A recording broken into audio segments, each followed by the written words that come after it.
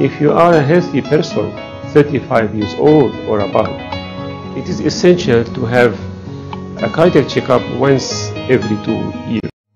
Zulekha Hospital, Dubai, Sharjah.